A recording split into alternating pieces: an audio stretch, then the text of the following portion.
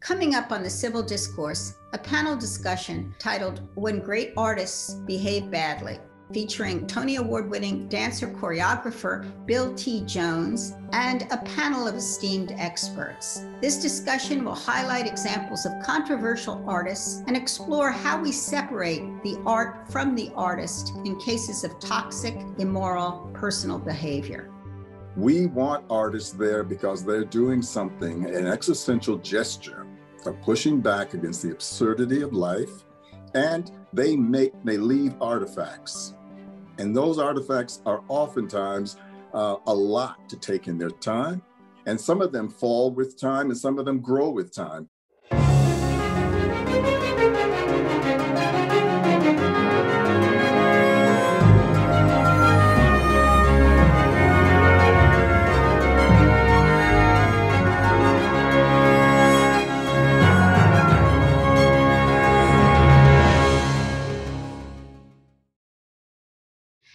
Welcome to the Civil Discourse. I'm your host, Paula Marantz Cohen, Dean of the Pennoni Honors College and Professor of English at Drexel University, speaking to you from my home in Center City, Philadelphia during the COVID 19 pandemic.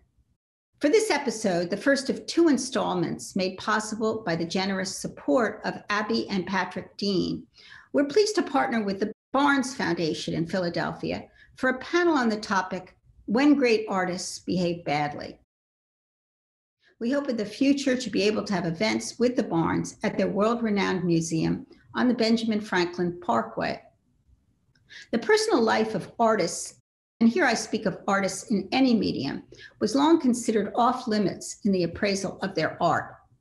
In recent years, however, we've become more attuned to the way in which art has come into being both the historical conditions in which it was made and the biographical facts of the artist are now subject to scrutiny and interrogation. Our guest panelists for this episode delve into the question of how much of an artist's life should figure in how we approach the art they create. And as a corollary, how free can artists be from the social and historical context in which they create? And now for part one of our panel discussion on when great artists behave badly. We have a group of panelists here with us today who are well suited to address this topic. And I'll briefly introduce them and then set our discussion going. First, Bill T. Jones. He's a MacArthur and Tony Award winning dancer, choreographer, and visual artist, and director of the experimental dance organization New York Live Arts and of the Bill T. Jones Arnie Zane Dance Company. He holds the special distinction and I like to add this, of having once been body painted by Keith Haring. Aruna D'Souza is an art critic, commentator, writer, and editor of books on the subject of art, race, and gender. Her most recent book, Whitewalling Art, Race, and Protest in Three Acts, was named one of the best books of 2018 by the New York Times. Erich Hatala Matthes is an associate professor of philosophy and director of the Frost Center for the Environment at Wellesley College. His work is devoted to the ethics, politics, and aesthetics of cultural heritage, art, and the environment. He's completing a book entitled Drawing the Line What to Do with the Work of Immoral Artists from Museums to the Movies. And finally, Martha Lucy is Deputy Director for Research, Interpretation, and Education at the Barnes Foundation in Philadelphia. She's a historian of 19th and 20th century European art and visual culture, and an expert on the Impressionists and on Pierre Auguste Renoir in particular. So let's begin with the question of how we should respond to the malfeasance of great artists. For example, Edgar Degas' anti Semitism, Picasso's vile treatment of women, Bertolt Brecht's enthusiasm for Stalin, Philip Johnson's racism. When such facts come to light about artists, do you think we're obligated to take them into account in our evaluation of their art? What I think what we can't do is um, antecedently, right from the beginning, just artificially try to cordon off the artist uh, from the artwork. Uh, we need to be open to the possibility that the lives of artists have relevance to our interpretation of their work. And I think there's ultimately nothing that puzzling about this, right? So while there's of course controversy about what kinds of contextual features are relevant to aesthetic interpretation of work, there are all kinds of features of the lives of artists that we often take into account when thinking about art interpretation, right? When they lived, the political climate they were working in, geographic context, et cetera. So I think it's arbitrary to just say, well, you know, the moral lives of artists, that couldn't possibly be relevant to our interpretation. I do think, though, that it's incumbent upon us to explain why, in a particular case, the moral lives of artists are relevant to interpreting particular works of art. Let me push back a little on that and ask somebody else on the panel if you think necessarily, and this moves a little bit against Erich's point, that there would be the imprint of, say, Degas' anti Semitism somewhere in the art itself. That by necessity, given that's in the fabric of the character of the artist, it shows itself in the art. I'll jump in here and just say that the the artists that we see in museums aren't there because they were good people or bad people. They were there because museums say um, tend to uh, confer ideas of genius on people who look and who look a certain way, who have a certain gender, who perform their gender in certain ways. And so already all sorts of things have gone into the determination of artistic greatness beyond the idea of aesthetics. Those judgments have already been made. And so I think that we've already taken into account some very basic things about the artist's life mm. uh, when we've decided who we're looking at in the first place. So let me ask, and I guess I will go to Martha with this one a museum making an evaluation of its collection, then in light of what you say, Aruna and Erich, do you think there should be this sort of evaluation as we do? I mean, we evaluate a legal provenance of works now, which wasn't done in the past, and that's been fairly recent. Should there be a board of evaluation as to the moral life of the artist according to certain standards and so forth, as to whether that art is exhibited in a in the in a given museum? I would not want to go through. Let me back up for a minute. I'm going to be talking about dead artists. I do I don't know how to answer this question when it comes to living artists, but when it comes to dead artists, I wouldn't want to go through the Met's collection or through the Barnes's collection and start um, kind of taking things off of the wall based on whether that artist had done something immoral in the past. Um, I would not want to do it. And it's not just because there would be practically nothing left to look at, but it's also because um, I think then that we're losing an opportunity to talk about these things.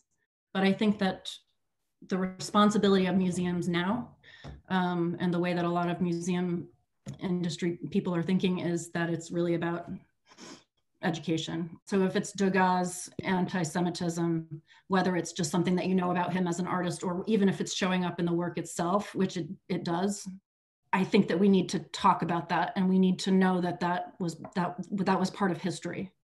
I'm not sure if I'm on the right panel. Uh, no, Bill, uh, Bill, the, Bill. The, the paradigm of museums is a problematic one for me to get into, but I'll do my best. I think I'm going to try to, my remarks are about artists. And uh, I thought that the title of this was a bit misplaced because uh, what my experience would be, we should have another panel that says when uh, institutions, critics, uh, collectors, uh, tastemakers behave badly. Mm-hmm. Yeah. Uh, and then that's the, the next thing I will say is uh, some basic pronouncements about art. Art should be dangerous. Art should really, uh, it should not be easily digested. And I'm, now this is a, a black man, a black gay man speaking. Uh, and I know that I can be offended, but I think that you really have to separate um, the work from uh, the person. Now, we want artists there because they're doing something, an existential gesture of pushing back against the absurdity of life, and they make they leave artifacts, and those artifacts are oftentimes uh, a lot to take in their time, And some of them fall with time and some of them grow with time. So for us to put guardrails up, separate them out. Some things are against the law, period. If you're abusing a child, that's against the law. Let the law take care of that. And if you're abusing, but, uh, not, but not censor the art of that person. Yeah, of course not. So, no. but do you think as an artist versus a critic, because I think when you said you're on the wrong panel, I'm wondering if there's been an age old tension between critic and artist. Do you feel that still in our yes. culture? Yes. There's art, there's something that the art that I'm talking of is at a level that I'd say it's something next to someone's spiritual understanding of being alive. No, I, I really think art should be dangerous.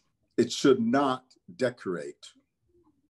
And I'm talking as a living artist. So I want to jump in because I think that um, Bill, who's I'm just a huge fan of your work and and mm-hmm. um, mm-hmm. uh, your career, but I want to talk. I want to change the terms a little bit because I I do think that art should be dangerous. Um, you know, and I'm not sure that often we are talking about artists who are making dangerous art when we're talking about this question, right? So that so that I'm not sure that in all cases um, that what we're ta- often talking about when people get riled up about artists behaving badly are artists who have um, personally acted in ways that are offensive. In your case, it was you know the work was dangerous and uncomfortable for people and and and that was the problem. For certain people for certain people. For certain people okay for ex- i'm going to give you an example that i think is really mm-hmm. clear mm-hmm. because and that speaks as well to martha's um, comment about um, the necessary conversations so i went to the national portrait gallery after the kehinde wiley portrait of barack obama was installed there and as I was walking around that floor of the National Portrait Gallery, I look over and there's uh, Chuck Close's portrait of Bill Clinton right? Chuck Close is an artist who was accused of, um, of uh, sexual harassment and abuse of a number of women. And the National Portrait Gallery decided, in the context of the sort of um, first flush of the Me Too movement, that um, his retrospective should be canceled. So there was a controversy. Do we cancel retrospectives? Do we only give retrospectives to, you know, decent people? All of that kind of stuff. I don't think anyone would argue, no one that I know would argue that Chuck Close is making the most cutting edge, dangerous, thought provoking work on the contemporary scene by a long shot. But what was most interesting to me is the wall label for this picture, because the wall label for this picture, which, as Martha said, fine, keep it on the wall and have the difficult conversations. The wall label for this picture talked extensively about Bill Clinton's various sexual scandals and did not mention the artist's own sexual scandals right so in in that sense my problem is not um, that uh, we need to take all the work down my problem is the apparatus which doesn't want to actually have the conversations that need to be uh, put forward. In the case, in Bill's case, that as as he points out, it's a very different situation of an artist who is being, you know, who is being put on the spot because of the power of a single art critic, um, and uh, where that turns into a kind of sort of conservative position being used as as a standard as, as an aesthetic standard, and that's problematic. If people don't know about the controversy, the victim art controversy, it was a work that I made in the 90s. Uh, I had made um, uh, a work called Last Supper at Uncle Tom's Cabin, The Promised Land, which was a work taking on the issues of race before it became a pop issue, right? And then uh, that also blew up. A lot of people were upset about that uh, Last Supper at Uncle Tom's Cabin featuring 52 handsome nudes. And the piece ended with a stage of um, anywhere between 52 to 60 plus people of all shapes and sizes and ages, naked, bathed in a golden light, and singing like children. Okay, we got over that. And then I decided I want to make a work that was completely, you could not say it was divisive along any lines. In other words, we're all born, we grow, and some of us reproduce, and then we die. Mortality. I went around and I did survival workshops with in about 35 communities uh, with people who were or had been dealing with life-threatening illness. But this particular critic um, said she had obviously heard or something, and she said, uh, "This uh, there's it's impossible for her to review work that's for, about people she feels sorry for, and it was unfair of, I guess, me to make it." And the Brooklyn Academy of Music, wherever it's presented, because it's there to make you feel bad. And therefore, you should not go. Hmm. Don't go see this work. It's just there to make you feel bad.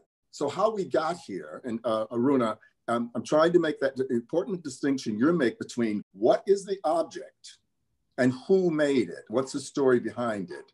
I still don't know why, I, if the National still feels it's important to put a label on a work by Chuck Close or any representation of Bill Clinton. Does the work stand? Is that different from putting a label on a statue to give context to it, where the sin is a historical sin. And I was going to ask Erich, because he is an environmentalist as well as a critic of art, about the statue in front of the Museum of Natural History that is going to be taken down, although many people feel it should have a label explaining it um, that shows Teddy Roosevelt on a horse, a Native American and an African on either side. But uh, do you have thoughts about this? Now, I realize I'm moving away from artists behaving badly to history behaving badly, and therefore impinging on the artist. How much does a work of art like this, which I think is a masterful work of sculpture, is it too offensive to stand or to stand there? And I'll start with Erich, and I also would like maybe uh, Martha to comment. Yeah, there's a, there's a lot going on in that question. I mean, I think when it comes to um, public artwork in particular and monuments that have a particular function, which is to, to honor, um, I think it's really important that we think carefully about the, the public meaning of those sculptures and the messages they might send.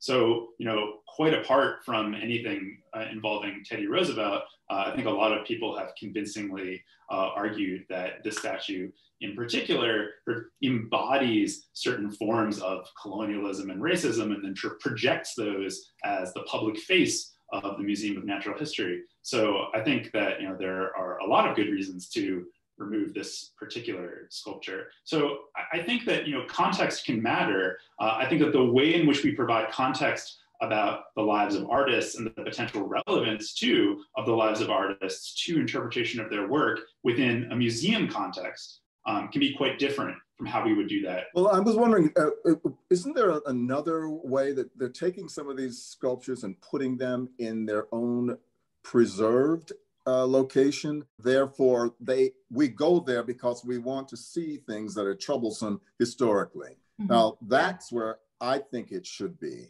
But I do think that it has its it says something about history, as Erich says, and therefore it's it's, it's it stills a, a sense of conversation in us. I wouldn't destroy I, it. I agree with that too. Um, I do not think that we should should get rid of it because it, it is part of our history, and we need to we need to acknowledge that. Um, but context is everything in this case. Um, having it outside as a public monument. I mean, what are what are public monuments about? Usually, it's, mm. it's, mm-hmm. it's what celebration. We, what we value. I'd like to show the other visual we have, which is of a Renoir painting Yep. Um, Martha's expertise is in Renoir and in uh, Impressionist painting. I think the Barnes has one of the largest collections of Renoirs in the world. And he has been, I mean, uh, uh, targeted as the embodiment of the male gaze, and in ma- many critics have accused him of, of of painting pornography. And I want to know what Martha has to say to that. Renoir is um, the poster boy for the for the male gaze when it comes to you know modern European art. I mean, you know, if the male gaze is about um, the, the the power dynamic that's sort of embedded in in the act of looking, um, and it's the sort of sexualized looking where the um, the woman is is the is the object. She is sort of presented as as kind of mindless um, as if she's unaware um, that she's being painted. So there's this kind of voyeuristic element. Um, there's the sort of fleshed cheeks, but I like studying it because it it's fascinating to me, um, and I want to understand the context that it's coming out of. And of course, wouldn't, wouldn't Balthus have been a better example?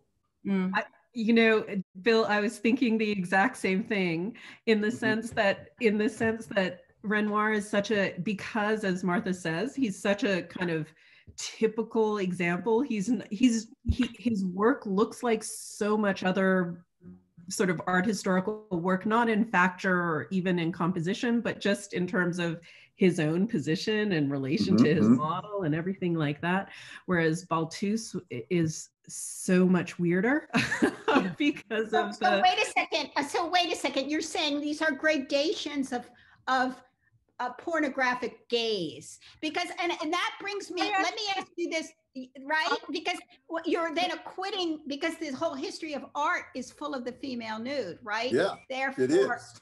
yes.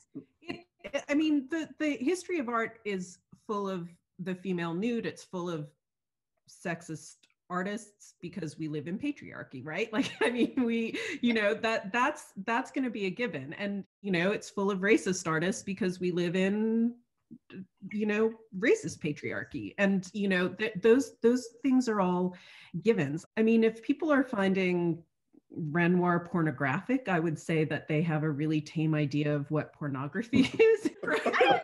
Feel kind of- I, kind of I agree with you. I think it's pretty pornographic. That doesn't mean that it's not also Well, I, I what's so interesting is that around the time that the Me Too movement sort of gained uh, momentum, and around the time that Harvey Weinstein was being brought to to task about his own crimes, um, which were genuine crimes, uh, a group of um, museum members at the Met um, started a petition to around the Balthus painting that the Metropolitan Museum in New York had. And people freaked out, and there was a big article in the New York Times about Me Too culture and is it going to mean that we take all the art off the walls and what kind of litmus test and everything like that. And so I went to look, and you know, museum directors were. I mean, it's a fantastic article if anyone wants to search it because museum directors were seriously losing their heads over the idea that you would do anything in relation to this Balthus. And they literally only asked that an, a line be added again to the wall label saying to contemporary viewers, this painting may strike you as disturbing because of this sexual content. That's it. That's that's what they were asking for and people lost their minds. And so for me it's like, well, if museum directors and curators aren't going to you know do their job by helping us contextualize what we're looking at, then they shouldn't get to play with their toys anymore. So if you can't Well- te- deal with a Balthus responsibly, then yeah, don't put it up on the wall. If you Yeah, want I to, Aruna, Aruna, did you think that was Balthus- enough? Was that enough to put that tag for you as a woman and a, a, to, a to me, scholar? I'm a hist- I'm a historian. If I'm I'm trained as an art historian, if I was going to decide that people weren't worth studying or looking at based on their racism or s- or misogyny or whatever, Mhm. I would not have anything to study. I, I but I mean, and you know, Martha says the same thing about right museum collections. I would not have anything to study, but I will say now that I'm an art critic and not an art historian, I make choices about who I pay attention to and who I don't. Mhm. I feel no need to review the whatever the artistic equivalent of Woody Allen is, right? I have no I feel no need to review that. It doesn't matter if their art is good or bad or indifferent. It I have a choice of looking in a different direction. because we have gone over, I want to thank everybody here because this will be our uh, program. This has been such a lively and vibrant conversation, but I know we have people in our live audience now waiting to uh, ask us questions. So thank you all for being here and we'll close off this portion of the show. At this time, we'll conclude part one of our panel discussion, When Great Artists Behave Badly. Please be sure to join us next time for part two. And thank you for joining us today for the civil discourse.